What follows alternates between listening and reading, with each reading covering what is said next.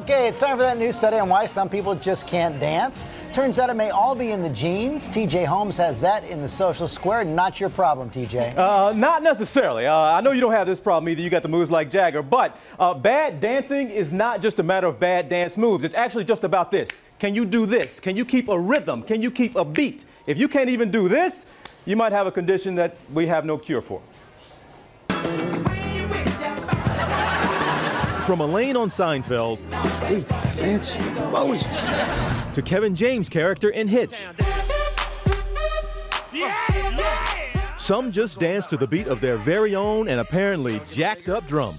Don't ever do that again.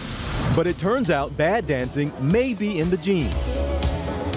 A new study calls it beat deafness. Researchers finding some people were able to move in time to the beat, but couldn't sync up after a change in tempo. And it wasn't pretty. One, two, three, four, five, six. Good.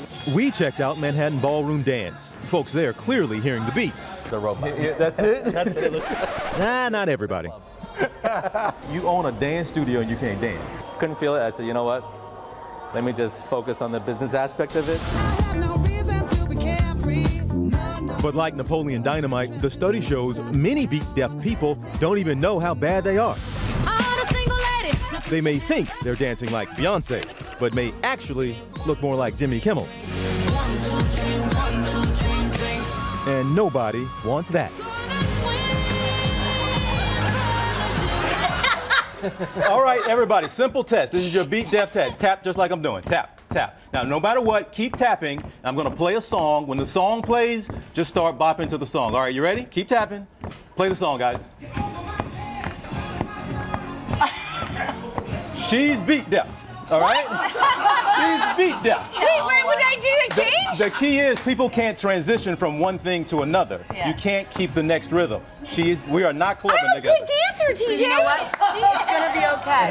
It's gonna be okay. Okay. I had no idea this was coming. First dance is only a week away. Yeah. Max told me I wasn't dancing to the rhythm, but I really thought I was. There's help. Hey, There's you know. I have a cure for that. We'll be More right wine. back. Oh.